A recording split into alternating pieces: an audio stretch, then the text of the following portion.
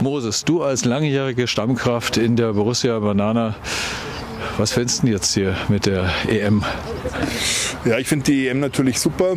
Ich rede jetzt so, äh, wie äh, es war so, ähm, früher hat Bastian Schweinsteiger ja immer so geantwortet, ja, es war natürlich schwierig, weil wir haben damals, äh, wir haben eine gute Chance gehabt und dann ist es anders gegangen und dann hat er ein Coaching gehabt und jetzt sagt äh, Bastian Schweinsteiger so, ähm, es war eine gute Grundsituation und äh, die Mannschaft hat es nicht leicht gehabt, aber sie hat es ziemlich gut äh, hinbekommen am Schluss. So redet heute Bastian Schweinsteiger heutzutage. Meinst du, wir Münchner kriegen das hin, hier mit 14.000 Leute im Stadion? Wir, bekommen so, wir dürfen sogar 14.500 Leute ins Stadion äh, bringen. Äh, ich glaube zusätzlich noch Funktionäre. Also es wird, äh, glaube ich, schön voll und wir kriegen es sicherlich hin. Die Karten werden ja vorher verkauft. Wenn man keine Karte hat, kommt man nicht rein. Also, Was machst du mit deinen gekauften Karten? Äh, ich habe gekaufte Karten, aber für äh, Jizza vom Wu-Tang, der hat 25 Jahre von seinem Album Liquid Swords, da gehe ich aufs Konzert. Schaust du EM? Ich schaue EM, aber in, äh, mit Freunden im Biergarten oder in Public Viewings. Ja. Wie denkst du, wird es dieses Jahr werden mit den ganzen Beschränkungen, die es gab, die aber seit heute zum Beispiel mit der Maskenpflicht entfallen?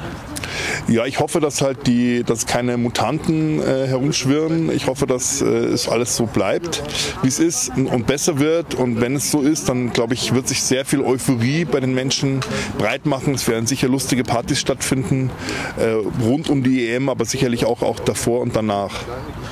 Und jetzt ganz mal äh, abgesehen von allem anderen, wie findest du heute dein Outfit? Ähm, ich weiß gar nicht, wie das gekommen ist. Ich hatte eigentlich eine andere Weste angezogen, aber plötzlich waren da so Fußbälle drauf. Ich finde es schön, es ist schön warm auch. Also ich merke, ich werde nicht frieren, falls ich ins Stadion gehen sollte mit der Weste und sie ist neutral. Äh, sie ist, ich bin ja eigentlich Löwen-Fan, also ich bin eigentlich blau, aber ich mag grüne Farbe gerne, weil ich gerne in Irland bin. St. Patrick's Day war ja diesmal nicht dieses Jahr, aber ich werde nächstes Jahr zum St. Patrick's Day auf jeden Fall diese Weste anziehen.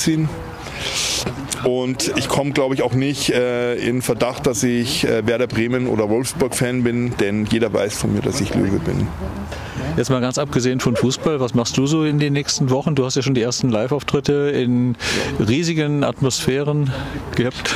Ja, ja, wir hatten einige echt total schöne Shows jetzt schon, vor, äh, Open Air vor Publikum und das hat super funktioniert.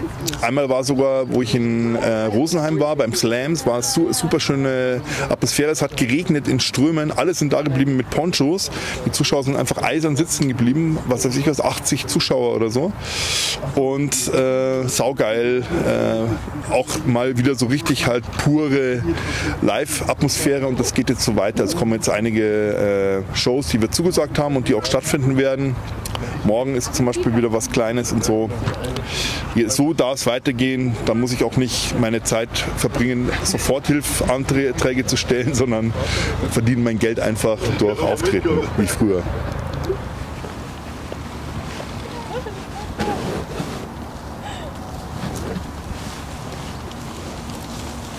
Das, war, das haben wir alle drei gleichzeitig. Ja, das ist das mit dem Rasen, das dann da vorne. Der Oberteil, Kunstrasen, ja? Genau. Da kann man wunderbar drauf spielen, also auf Musik. Hallo Axel, EM-Zeit, die Indizes fallen, wir werden in den nächsten Wochen feiern dürfen. Und wie sollten wir jetzt am besten feiern? Jetzt feiern wir auf jeden Fall mit Inbrunst, weil jetzt die Spannung wird ja immer größer. Die Fußballspiele kommen näher. Also wir haben ja jetzt bald hier in der Allianz Arena das erste Spiel. Und dazu ist natürlich toll, wenn man sich auch dazu kleidet. Ähnlich Fußball, ja. Also fußballerisch, die sind so laut da hinten, das ist furchtbar. Die freuen sich einfach mit ihren Dirndl. Ja? Und ähm, die Fußballdirndl, das ist eben Ausdruck des, des Fanbewusstseins und natürlich hat er Tradition, ja, Dirndl kommt immer sehr schön an.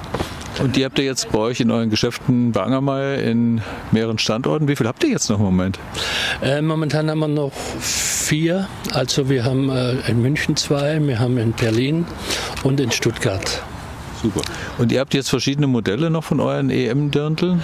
Ja klar, das sind ganz verschiedene. Ich meine, man sieht es ja hier, ähm, wie einmal mit, mit der Deutschlandfahne äh, im, als Schürze.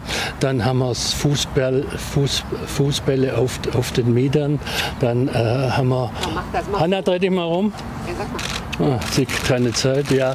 Dann haben wir so ein schönes gepunktetes äh, Dirndl und eben immer mit, mit Deutschland äh, Fahnen drauf. Ja.